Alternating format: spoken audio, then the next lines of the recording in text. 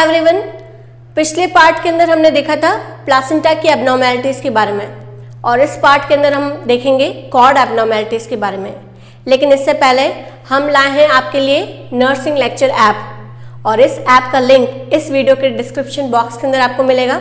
इसे डाउनलोड करना ना भूलें, क्योंकि इसके अंदर हैं कई अट्रैक्टिव फीचर्स जिसमें से एक है प्रीमियम चैट जो कि आप लोगों के लिए है बिल्कुल फ्री जिसमें आप अपनी क्वेरीज को या फिर अपने जो भी डाउट्स हैं उसे सीधा मुझसे पूछ सकते हैं। तो इसे डाउनलोड करना ना भूलें। तो यहाँ पे अब हम देखेंगे कॉड एबनॉर्मेलिटीज़ के बारे में। कॉड एबनॉर्मेलिटीज़ में भी बहुत सारी वेराइटीज़ होती हैं और ये जो कॉर्ड है, इसके कंपैरिजन में प्लासेंटा की एबनॉर्मेलिटी थोड़ी कम होती हैं। ज़्यादातर देखने को मिलती है हमें कॉर्ड एबनॉर्मेलिटीज़ और इनमें भी सबसे इम्पॉर्टेंटली जो हम देखने जा रहे हैं वो क्या है? Abnormalities on the basis of their insertion cord कहाँ से इंसर्ट होती है, उनमें कौन सी एबनॉर्मेलिटी होती है? वेसल्स के नंबर के बेसिस पे कौन सी एबनॉर्मेलिटीज होती हैं? और लेंथ के बेसिस पे कॉर्ड एबनॉर्मेलिटीज कौन सी होती हैं? तो सबसे पहले हम देखेंगे abnormalities on the basis of cord insertion so cord insertion basis पे primarily two type of abnormalities देखने को मिलती है. One is battledore and the another one is velamentous insertion of cord क्या होता है इनके अंदर? First is battle Dar placenta सबसे पहले हम देखते हैं cord insertion cord insertion normally कैसा होता है? यहाँ पे है प्लासेंटा सो नॉर्मली जो कॉर्ड होती है ये कॉर्ड कहाँ से इंसर्ट होती है? कोरोनिक प्लेट के सेंटर या नियर सेंटर से लाइक like दिस आपको पता ही है पिछले वीडियो में मैं ऑलरेडी आप लोगों से डिस्कस कर चुकी हूँ। प्लासेंटा की दो प्लेट्स होती हैं जो कि फीटस की तरफ़ है वो है कोरोनिक प्लेट और जो मदर की ओर होती है वो है basal plate so so, cord का जो इंसर्शन होता है वो कौन से प्लेट से होता है? कोरोनिक प्लेट से होता है। और ये सेंटर या फिर नियर सेंटर से क्या होती है? अराइज होती है। यहाँ से ये अटैच होती है। ये किसकी बात कर रहे हैं हम? नॉर्मल कंडीशन की बात। बैटल डॉट प्लासेंटा के अंदर क्या होता है? कि कॉर्ड का जो इंसर्शन है, ये सेंटर से ना हो कि कहाँ से होता है? मार्जिन से। बैट लाइक जैसे कि बल्ला होता है, जिसमें जो बैट का हैंडल है, वो कहाँ होता है? एज पे। तो उसी तरीके से प्लासेंटा की कॉर्ड ये कहाँ से अराइज हो रही है? एडजस्ट है। जैसे कि यहाँ पे है प्लासेंटा। तो अम्लाइकल कॉर्ड कहाँ से इंसर्ट होगी? मार्जिन से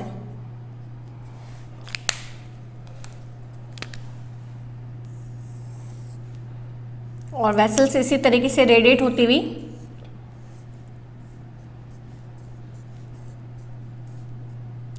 इस प्लेट की एज तक जाएगी। सो so, ये कौन सी एबनॉर्मेलिटीज कहलाती है? बैटल डॉर प्लासेंटा यानी कॉर्ड का जो इंसर्शन है वो कहाँ से होता है? सेंटर से ना होके मार्जिन से हो रहा है। नॉर्मली सेंटर से। लेकिन इसके अंदर मार्जिन से कॉर्ड अराइज हो रही है। वैसे तो इस मार्जिन से अराइज होने पर फीटस के ऊपर कोई बैड इफ़ेक्ट नहीं होते हैं। लेकिन अगर इसी टाइप का प्लासेंटा लो लाइन है यानी लोअर सेगमेंट में अटैच है तो उस कंडीशन में क्या हो सकता है? फीटल पार्ट के प्रेशर से, जो भी फीटल का प्रेजेंटिंग पार्ट है, उसके प्रेशर से कॉर्ड क्या हो सकती है? कंप्रेस जिसके कारण जो ब्लड सप्लाई है फीटस तक वो क्या हो सकता है? डिक्रीज जिसके कारण फीटस क्या हो सकता है? एनॉक्सिक लेकिन अगर ये नॉर्मली सिचुएटेड प्लासेंटा है तो उस कंडीशन में फीटस के ऊपर इस टाइप की एबनॉर्मेलिटी के कारण कोई भी बैड इफ़ेक्ट नहीं होता है। तो ये कौन सा वेराइटी होती है? बैटल डॉर प्लासेंटा यानी कॉर्ड का इंसर्शन कहाँ से हो रहा है? सेंटर से ना होके मार्जिन से दूसरी वैरायटी होती है वेलामेंटस इंसर्जन ऑफ़ कॉर्ड। इसके अंदर क्या होता है? यहाँ पे जिस तरीके से प्लासिंटा है तो कॉर्ड सेंटर से ना अराइज होके क्या होगी? डिस्टेंस से अराइज होगी। एक डिस्टेंस से अराइज होगी और जो वेसल्स हैं अम्बलाइकल कॉर्ड वेसल्स, वो क्या करेगी? इस कॉर्ड से रिलीज़ होके ट्रांसवर्सली रन करते हुए कोरोनिक प्लेट तक एक्सटेंड होगी।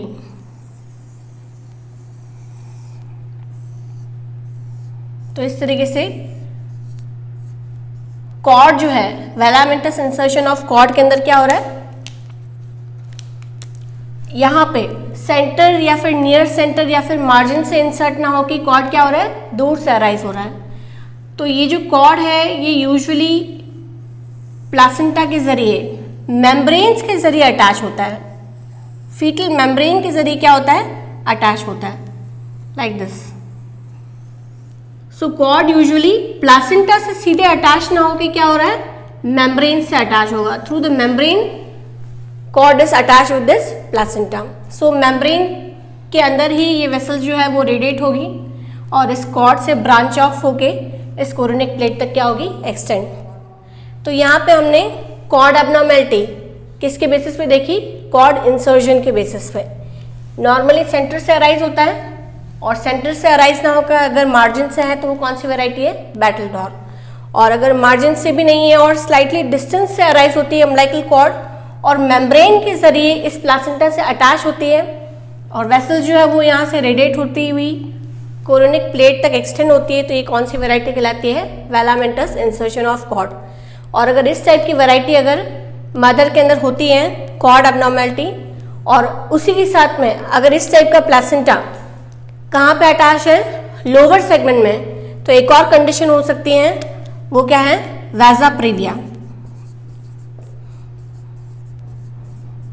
क्या है वैजा प्रीविया? कि अगर ये प्लासिंटा लो लाइंग है लोअर सेगमेंट में अटैच है तो क्या हो सकता है? प्रेजेंटिंग पार्ट के नीचे here it is the presenting part that is the head of the foetus उस हेड ऑफ़ द फीटस के नीचे क्या हो सकती है? ये ट्रांसवर्सली रनिंग वेसल्स जिससे कारण क्या रिस्क होने के चांसेस रहते हैं? कि अगर लेबर के टाइम पे ये मेम्ब्रेन रप्चर हो जाती है तो उसी के साथ में क्या हो सकती है? वेजाइनल ब्लीडिंग भी हो सकती है बाय दिस टोन वेसल्स तो ऐसी कंडीशन में इवन फीटल डेथ होने के चांसेस भी ज़्यादा रहते हैं। तो ये कंडीशन क्या कहलाती है? वेजा प्रिव्या यानी अगर प्लासेंटा लो लाइंग है तो क्या होगा? कॉर्ड से अराइज होती हुई ये जो वेसल्स हैं, जो कि ट्रांसवर्सली रन कर रही हैं, ये क्या हो सकती है? फीटस के प्रेजेंटिंग पार्ट के सामने आ सकती हैं, नीचे की ओर आ सकती हैं। ठीक है? So at the time of labour इसी फीटल मेम्ब्रेन के रप्चर के साथ में इन वेसल्स के भी रप्चर होने के चांसेस ज़्यादा हो सकते हैं। सो so, ऐसी कंडीशन क्या कहलाती है? वैजा प्रीविया या वैजा प्रीविया कब हो सकती है? जब वेलामेंटस इंसर्जन ऑफ़ कॉर्ड है और इस टाइप का कॉर्ड अगर कहाँ है? लोअर सेगमेंट में सिचुएटेड है। तो उस कंडीशन में क्या हो सकता है? वैजा प्रिविया भी हो सकता है। तो यहाँ पर थी cord abnormality on the basis of cord insertion. इसके अलावा कौन कौन सी और एबनॉर्मेलिटीज हो सकती हैं? लेंथ ऑफ़ कॉर्ड के बेसिस पे भी एबनॉर्मेलिटीज हो सकती हैं। और यूजुअली कॉर्ड की अम्लाइकल कॉर्ड की लेंथ होती है 30 से 100 सेंटीमीटर तक। और on average 50 to 60 centimetre long होती है। तो लॉन्ग यानी more than 100 but it can be up to 300 centimetre कितनी और ज़्यादा लेंथी हो सकती है? Long cord it may be up to 300 centimetre long cord lengthening के कारण क्या चांसेस हो सकते हैं फीटस के ऊपर? कि देर विल बी एंटेंगलमेंट यानी कॉर्ड अराउंड द बॉडी और cord around the neck cord क्या कर सकती है? लेंदी कॉर्ड बॉडी को या फिर नेक के अराउंड क्या कर सकती है? ये एक राउंड क्रिएट कर सकती हैं। और उसके कारण क्या हो सकता है? प्रेजेंटिंग पार्ट के डिसेंट होने में डिफिकल्टी हो सकती है। आप एक्सटर्नली सिफेलिक वर्जन नहीं कर सकते हैं। यानी फेवरेबल पोल जो होता है, उसे आप लोअर सेगमेंट में लेके नहीं आ सकते हैं, क्योंकि कॉर्ड जो है वो फीटस के अराउंड कंप्लीटली एंटेंगल्ड है। और कई बार लेंदी कॉर्ड के कारण क्या हो सकता है ट्रू नॉट भी बन सकती है। But it is the rare one और कभी कभार लॉन्ग कॉर्ड के साथ में क्या एबनॉर्मेलिटीज देखने को मिल सकती है कॉर्ड प्रोलैप्स यानी प्रेजेंटिंग पार्ट से पहले आपको क्या फील हो रहा है? कॉर्ड तो कॉर्ड प्रोलैप्स हो सकता है और अगर कॉर्ड प्रोलैप्स है तो उस कंडीशन में क्या होगा? प्रेजेंटिंग पार्ट के प्रेशर के कारण वो कॉर्ड क्या हो सकती है? कंप्रेस और अगर कॉर्ड कंप्रेस हो रही है तो ब्लड सप्लाई फीटस तक क्या हो सकता है? डिक्रीज जिसके कारण फीटस क्या हो सकता है? एनॉक्सिक तो अगर कॉर्ड लेंथी है, यानी 300 सेंटीमीटर तक लॉन्ग है तो उस कंडीशन में क्या हो सकता है? कि ये बॉडी के अराउंड फीटल मूवमेंट के साथ में क्या हो सकती है? कि फीटस को कंप्लीटली एनसर्कल कर सकती है एंटेंगल हो सकती है around the most commonly neck के अराउंड होती है बट बॉडी के किसी पार्ट के अराउंड भी क्या हो सकती है entangle may be the abdomen may be the legs but more commonly कहाँ दिखता है? नेक के अराउंड एंटेंगलमेंट कॉमन होता है। और दूसरी एनॉमली ये हो सकती है इसके साथ में कि कॉर्ड प्रोलैप्स हो सकती है। फॉल्स नोट भी देखने को मिल सकती है बट फॉल्स नोट यानी रियल में कोई नोट या गिठान नहीं बन रही है। वेरजन वेसल्स में क्या हो रहा है?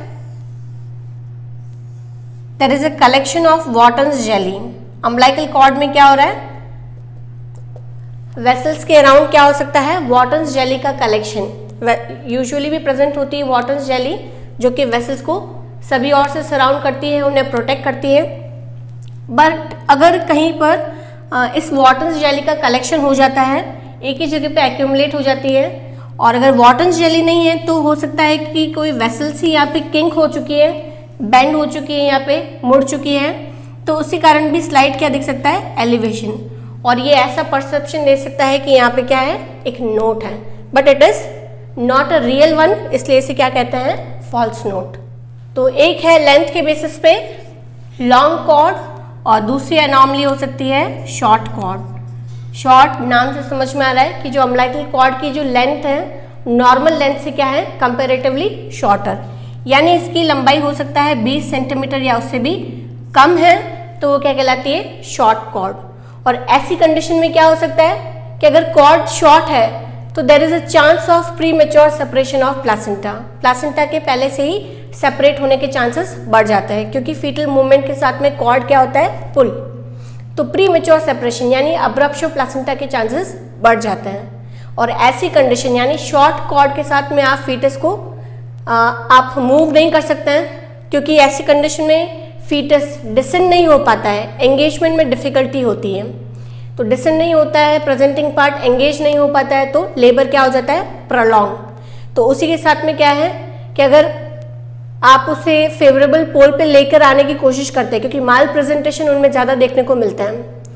तो माल प्रेजेंटेशन में अगर उसे आप फेवरेबल पोल पे लाने की कोशिश करते हैं तो वो आप नहीं कर सकते हैं। यानी एक्सटर्नल वर्जन नहीं कर सकते हैं, क्योंकि कॉर्ड इज़ शॉर्ट और अगर आप विग्रसली ऐसा करेंगे तो there may be a chance of abruption premature separation of placenta के चांसेस बढ़ जाते हैं। तो लेंथ के बेसिस पे कॉर्ड एबनॉर्मेलिटीज कौन सी हैं? लॉन्ग कॉर्ड यानी उसकी लंबाई अप टू 300 सेंटीमीटर तक हो सकती है नॉर्मल लेंथ के कंपैरिजन में, और शॉर्ट कॉर्ड यानी लेंथ सबसे कम, यानी 20 सेंटीमीटर से भी कम हो सकती है या 20 सेंटीमीटर भी हो सकती हैं। तो वो कहलाती है शॉर्ट कॉर्ड और तीसरी टाइप की जो वैरायटी है एबनॉर्मेलिटीज के अंदर, वो क्या है?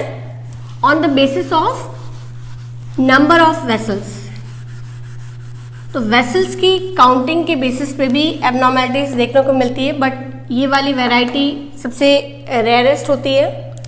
नॉर्मली अम्लाइकल कॉर्ड के अंदर थ्री वेसल्स होती है। नॉर्मली थ्री वेसल्स यानी टू आर्टरीज और वन वेन टू आर्टरी और वन वेन होती हैं थ्री वेसल्स होती है in a normal cord single umbilical artery. कौन सी एनॉमली है? Single artery single umbilical artery क्योंकि यहाँ पे मैंने बताया नॉर्मली कितनी है? टू तो अगर सिर्फ़ एक ही आर्टरी है और एक ही वेन होती है तो कौन सी होती है? टू अम्लाइकल वेसल एनॉमली जिसमें ओनली दो वेसल्स होती हैं, एक आर्टरी और एक वेन यानी इस कंडीशन में क्या हो रहा है? एक आर्टरी जो है, वो क्या हो चुकी है? एट्रॉफिड और उस एट्रॉफिड होने के कारण यहाँ पे ओनली कितनी रिमेन रह रही है? वन आर्टरी तो इस टाइप की जो कंडीशन है सिंगल अम्लाइकल आर्टरी ये condition that is identical twins जो ट्विन प्रेगनेंसी होती है, उनमें होने के चांसेस ज़्यादा रहते हैं। और अगर एक वुमेन डायबिटिक है, या फिर एपिलेप्टिक है, या फिर उसके अंदर ऑलिगोहाइड्रोमनियोज हैं, या पॉलीहाइड्रोमनियोज हैं तो उन कंडीशन में इस टाइप के चांसेस कॉर्ड एनॉमली होने के चांसेस ज़्यादा रहते हैं। और ऐसे फीटसेस के अंदर कंजेनाइटल माल फॉर्मेशन भी ज़्यादा रहता है। एग्जैक्ट कॉज जो है इसका अनोन है। सो सिंगल अम्लाइकल आर्टरी ये क्या है? कि नॉर्मल थ्री वेसल्स हैं, लेकिन उस थ्री वेसल्स में से टू आर्टरीज के अंदर से एक आर्टरी क्या हो चुकी है? एट्रॉफिड जिसके कारण only one artery single artery और क्या होगी? वन वेन तो यानी ऑल टुगेदर एक कॉर्ड के अंदर ओनली क्या प्रेजेंट है? दो ही वेसल प्रेजेंट है। तो ये है नंबर ऑफ़ वेसल्स के बेसिस पे वेरिएशन फोर वेसल एनॉमली भी होती हैं, जिसके अंदर तीन की बजाय क्या हो जाएगा? फोर वेसल्स प्रेजेंट होगी.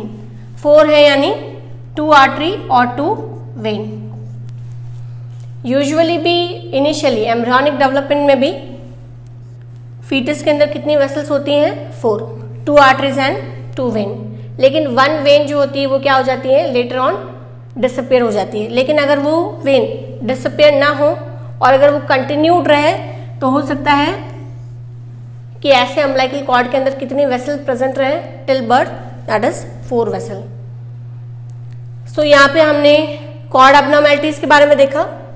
On the basis of cord insertion कौन सी है? बैटल डॉर यानी कॉर्ड जो है वो कहाँ से अराइज हो रही है? मार्जिन से वेलामेंटिस इंसर्शन ऑफ़ कॉर्ड यानी कॉर्ड डिस्टेंस से अराइज हो रही हैं और जो वेसल्स हैं वो ट्रांसफर्सली रन करती हुई थ्रू द मेम्ब्रेन डायरेक्टली कहाँ अटैच हो रही है? प्लासेंटा के कोरोनिक प्लेट पे। और जब ऐसा होता है तो उसके साथ में वैजा प्रीविया होने के चांसेस ज़्यादा रहते हैं। अगर same type of placental abnormality cord abnormality है और अगर इस टाइप की एबनॉर्मेलिटी के साथ में प्लासेंटा अगर लो लाइंग है तो उसके साथ में कौन सी और कंडीशन हो सकती है? वैजा प्रीविया तो ये थी cord abnormalities on the basis of insertion इसके अलावा मैंने बताया था abnormalities on the basis of length of cord तो एक होती है लॉन्ग कॉर्ड एक है शॉर्ट कॉर्ड और abnormalities on the basis of number of vessels three vessels normally है. अगर ओनली टू वेसल्स होगी, यानी ओनली एक ही आर्टरी है तो उस कंडीशन में क्या है? सिंगल अम्लाइकल आर्टरी है नॉर्मली और अगर फोर वेसल्स हैं बिकॉज़ यहाँ पे क्या है? जो वेन है वन वेन वो डिसिप्लिन यहाँ पे नहीं हुई है तो उस कंडीशन में कौन सी अनोमली हो सकती है? फोर वेसल अनोमली तो यहाँ पे इस वीडियो के ज़रिए हमने देखा कॉर्ड एबनॉर्मेलिटीज के बारे में on the basis of cord insertion length of cord as well as the number of vessels thank you